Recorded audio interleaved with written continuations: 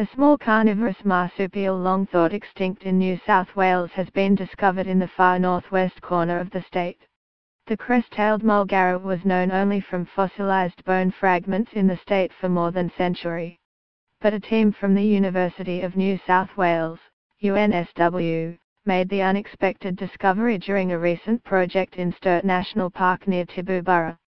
UNSW scientist Reece Pedler said he could hardly believe it when he saw the animal. There was a lot of excitement when we looked into a trap and there was a mulgara, he said. 25 years ago, if you wanted to find them you'd have to go to the Simpson Desert. But over the last 20 years, since rabbit calicivirus has brought some real changes to arid ecosystems, this little critter's been making a massive comeback.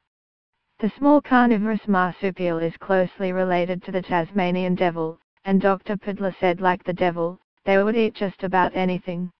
They are non-specialist little carnivores.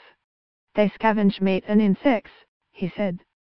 Unlike their larger, more well-known cousin, the mulgara had few defenses against introduced species. UNSW scientist Rebecca West said Australia's small mammals barely had a chance against dogs, cats and foxes. A lot of these species were in that weight range of animals that are really susceptible to predation and they had devolved with those predators, she said.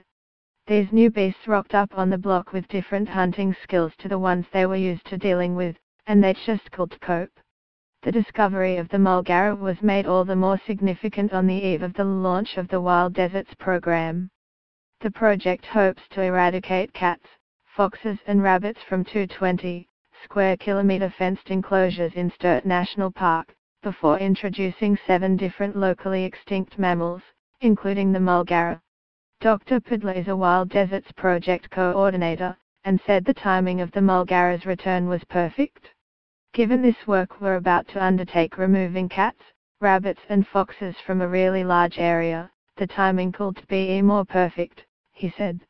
It is hoped the construction of the enclosures will begin in 2018, and the first of species to be introduced to the area, the greater bilby, will be released in 2019.